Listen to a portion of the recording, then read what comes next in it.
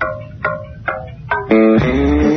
Negro, Bolita. puto, Mongi. trola, Cabeza. groncho, Piel negra. piel blanca, Marica. paraguas, Negro de mierda. chino sucio, Chino chorro. chino que apaga la heladera a la noche, Chino que compra vinos afanados. gorda, chino o coreano, Rarito. rarita, Él un ganador. ella una putita, Inmigrantes que quitan el trabajo a los argentinos. inmigrantes que no quieren laburar, Drogadictos. peruca, Chilote. judío miserable, Tano bruto. cabecita negra, Torta. maraca, Ruso. volvete a tu tierra, Gallego bruto.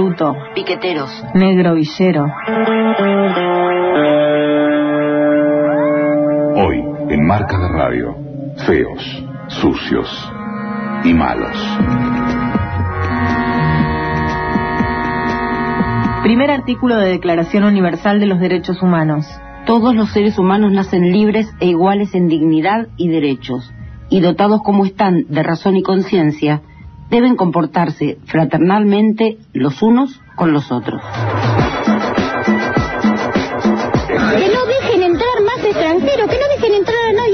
20 años manteniendo esta lacra. A ver, eh, vamos a dar una vueltita despacito. Mira, acá hay, hay algo que se está filtrando. Bien.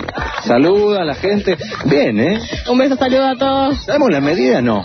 No, no. La pareja de homosexuales, suponte que adoptan un chico, un varón, ¿no podría producirse una violación? Vienen a tener familia acá hace 40 años, gratis, porque allá no lo, no lo quiere. En Argentina tenemos un concepto de que el que es hombre es hombre y el que es mujer es mujer. Yo sigo mi postura que esa gente hay que buscar un sanatorio especial para tratarlo desde la cabeza porque no está normal en cuanto a la forma de pensar. Yo me voy a ir a Bolivia a tomar plazas en Bolivia a ver cómo me sacan las patadas en el culo. En los últimos años hubo un avance en el reconocimiento de los derechos de las personas. La ley de matrimonio igualitario, La ley de talles en la confección de ropa, la creación bajo la órbita del Ministerio de Justicia del programa Víctimas contra las Violencias, o la ley nacional que obliga a las dependencias oficiales a contratar personas discapacitadas. Sin embargo, la sociedad argentina poco acompañó ese progreso. Y el mapa de la discriminación no se modificó sustancialmente en los últimos años. Nosotros somos una sociedad auténticamente diversa, heterogénea, nacimos como una sociedad diversa y heterogénea, nos constituimos y somos en muchos aspectos. La primera mirada académica y fundada en sus investigaciones la aporta Néstor Cohen, sociólogo del Instituto Gino Germani. Nos vanagloriamos por un lado que decimos que bueno, que las migraciones, que venimos de los barcos, que sé yo, que los pueblos originarios, y mezclamos un montón de cosas, pero eso es un discurso un lado, pero no todo el mundo es muy fiel a ese discurso. Luego empezamos a tener una serie de, digamos, de comportamientos, sobre todo más como actitudes, ¿no? Hacia prejuiciosas, digamos, de distinto tipo no hace mucho en la década del 90, no hace mucho, y hasta fines de los 90 había otro discurso discriminatorio contra bolivianos, paraguayos, peruanos, era público, era portación de cara, todo eso estuvo en la Argentina, este, el parque indoamericano estuvo hace un año, la, la no resolución aún de, del tema de, de la AMIA también está, es una mezcla, pero todo eso está en la Argentina, convive con nosotros todos los días. A los diputados que bancan todos estos negros, todos los extranjeros. Es hora que se pongan las pilas. Los legisladores, una nueva ley de migraciones. No se banca más 20 años manteniendo esta lacra. Vienen a tener familia acá hace 40 años, gratis, porque allá no lo, no lo quiere. Estamos abiertos a recibir gente honesta que quiera venir a trabajar a nuestro país, pero tenemos derecho a saber de quiénes son, y no que esta situación en la cual convivimos con una situación descontrolada, donde parecería que la Ciudad de Buenos Aires se tiene que hacer cargo de los problemas habitacionales de todos los países limítrofes o, o más allá todavía de países limítrofes de, de, Latinoamérica. Que no dejen entrar más extranjeros, que no dejen entrar más. Si tengo que ir a un, a, a un supermercado y bancarme que a las señoras inmigrantes tengan tres o cuatro changuitos llenos porque le dan la ciudadanía y yo tenga que hacer cuentas para poder llegar a darle de comer a mis hijos a fin de mes. Un informe elaborado por el INADI, Instituto Nacional contra la Discriminación, la Xenofobia y el Racismo, reveló que tres de cada diez personas fueron discriminadas alguna vez y otras cinco presenciaron algún hecho de discriminación. Las distintas comunidades latinoamericanas que habitan en Argentina son blanco del discurso discriminatorio. Algunas colectividades lo sufren más que otras, pero todas son estigmatizadas. Quizá la, la, la colectividad que aparece entre los países sudamericanos más este, estigmatizada es la boliviana. Y con respecto a la boliviana, eh, es interesante, como el, el general discurso que aparece es un discurso muy inferiorizador, pero con cierta sutileza, ¿no? En general, yo lo resumiría así, digamos. En general, eh, los bolivianos son vistos como personas este, sumisas, ¿no? Y uno puede decir, bueno, qué sé yo, lo sumiso también quiere decir sometido, ¿no? Denota, digamos, cierta cierta inferiorización del otro. Aparecen como sumisos, aparecen también como lentos, intelectualmente lentos, ¿no? Tanto los adultos como los chicos son vistos este, como chicos lentos, por ejemplo, en la escuela. El, el sujeto más estigmatizado, te diría inclusive más que el judío, es el boliviano en la Argentina, ¿no? El sociólogo Néstor Cohen investiga desde siempre estos comportamientos como parte de su trabajo en el Instituto Gino Germani. Con respecto este, a los a los peruanos aparece una asociación muy fuerte respecto a la, cosa más delictiva del peruano, ¿no? Como eh, del cual hay que tener cuidado y desconfiar, ¿no? Un peruano al lado es peligroso, digamos, porque algo te va a sacar. Con respecto a los paraguayos aparece algo más ligado a la cosa más violenta, ¿no? Este, como más ligado a la, a la violencia personal, a la violencia familiar. Y luego con respecto a, la- a, la- a la- a las colectividades asiáticas, que ahí está un poco mezclado entre lo chino y lo coreano, está más ligado a fundamentalmente a la cuestión más delictiva también, pero más organizada en términos eh, mafiosos. Ahí ya no es inferioriz- no, no- son inferiorizados, sino son como temidos, ¿no? Son ubicados en un lugar muy transgresor, digamos, ¿no? Como que son de temer. todo este descontrol que tenemos, todo este avance de inmigración ilegal donde se oculta el narcotráfico y la delincuencia, todo este avance de las armas ilegales, tiene que ver con lo que está pasando con la inseguridad en la ciudad de Buenos Aires. Uno de los escenarios en el que aflora el discurso discriminatorio de manera naturalizada es sin duda el de las canchas de fútbol.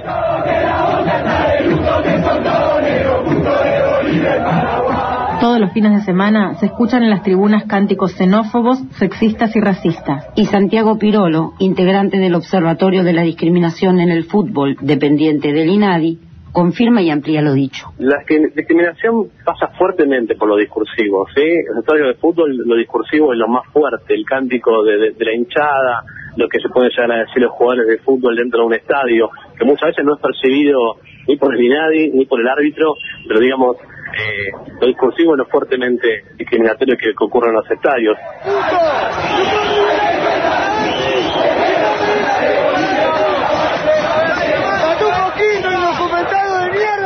Históricamente la hinchada más discriminada es la hinchada de Boca, y esto actualmente sigue ocurriendo, hablando siempre de, los equipos de primera división, ¿no? La hinchada más discriminadora por denuncias es la Independiente hasta el momento, ¿sí? Por la cantidad de denuncias que llegan al INADI o partidos que se han parado hasta el momento. El Observatorio de la Discriminación en el Fútbol del INADI confeccionó un paquete de recomendaciones para los periodistas que realizan la cobertura de los partidos. Nosotros tratamos de que, por ejemplo, los, los comentaristas de fútbol eh, traten de no eh, decir la nacionalidad siempre del jugador al cual ellos están relatando, comentando. Otra vez, es Santiago Pirolo quien lo explica. Es común que ellos digan eh, el colombiano tal, el paraguayo tal, pero generalmente no dicen el argentino tal, ¿no? Entonces esta cuestión de, de no anteceder con, con el ori- con la nacionalidad de cada uno de los jugadores es una de las cosas que nosotros tratamos de recomendar. Pero muchas veces dan cuenta quizás de, de lo que ellos dicen o, o plantean frente a un micrófono, frente a una cámara, que es discriminatorio, quizás dan cuenta recién cuando llega una denuncia o una consulta de una persona que se ha sentido ofendida. Pasa lo mismo con los jugadores de fútbol. Eh, recuerdo el caso de, de Esteban Fuertes, un jugador de Colón, que le dijo mogólico a otro jugador de, a un jugador de Racing y llegó una denuncia, porque esto había salido por televisión abierta y había sido tomado por las cámaras, ¿sí? Y el jugador, digamos, recién entendió la magnitud de lo que él había dicho y que podía molestarle a otra persona. eh, cuando lo citamos al INADI, cuando le contamos por qué le molestó a otra persona, por qué era discriminatorio, y recién ahí muchas veces pueden darse cuenta o entender que hay cosas que son naturales o parte del folclore, pero que pueden molestarle a, a un tercero, ¿no? Nuestro país, que en el siglo XIX dio la bienvenida a los inmigrantes europeos, en este nuevo siglo parece despreciar a las minorías étnicas. Los medios de comunicación aportan y bastante a esa construcción. Hoy, en Marca de Radio, feos, sucios y malos. En la segunda parte de este informe, medios, discriminación a las mujeres y judíos en la mira.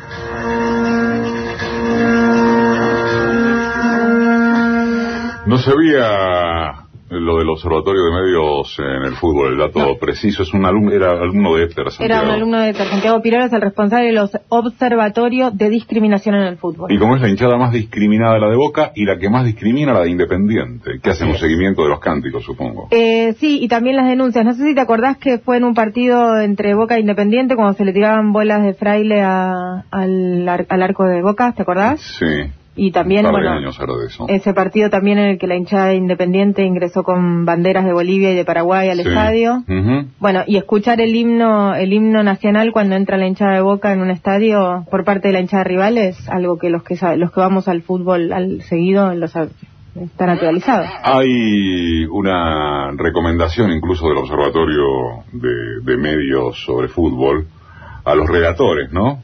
Sí, ellos trabajan con, con dirigentes, con público, con los relatores, eh, a los que les dieron un paquete de recomendaciones en los que, por ejemplo, como decía recién Santiago, eh, cuando es innecesario citar el- la, la la- la nacionalidad del jugador, no decirlo. ¿Para qué decir el paraguayo, boliviano claro. tal? Digamos, si no es necesario o si no, o si no, o si no sirve para algo, ¿no? Bueno, Eh, sí que... no, una cosa más, viste que no, es- eh, últimamente el 11 creo que se jugó el partido entre la selección de Bolivia y de, Argentina. Sí, Eh, bueno, ese pasado. día el observatorio estuvo presente, los jugadores entraron con una bandera que decía no a la discriminación, no a la xenofobia, con los colores de las banderas de Argentina y Bolivia. Hay un montón de, de mensajes acá eh, por Facebook que realmente felicitan por el informe porque está muy bueno, en serio. Está muy bien armado y, y tiene una segunda parte ahora en la próxima eh, media hora. Y uno coincide con lo que ah, alguna gente dice a propósito de la impresión que te causa escuchar todo junto. Es fuerte. Es fuerte, sí. ¿no? O sea, estas negras que están con el changuito y que les dieron a... Es muy fuerte escucharlo todo junto. Justo en Clarín de hoy, y ocupa portada, ocupa recuadro con fotografía a pie de página, está el caso de eh, mm, Eddie Valdés, dominicano, 34 años, que tiene miedo de salir a la calle, que cuando va a trabajar se cubre parte de la cara con una gorra, que evita salir solo y que hasta suspendió los paseos a la heladería con sus hijos pequeños. Lo detuvieron 35 veces por averiguación de antecedentes. O sea, por cara de dominicano. Es dominicano, se casó con una mendocina y vive en esa provincia. Bueno, la provincia no se llama Mendocina, le aclaro al copete de Clarín, desde 2008. Uno de sus tres hijos le pide que se esconda cuando ven a un policía. Creen que es por su tez trigueña y su vestimenta rapera. Eh, Sí que. no, dale, pero dale. portación de cara. Aguanta, y esta, joven, perdón, eh, y esta semana también hubo un episodio en una escuela de compañeros que golpearon a un alumno por ser gordo.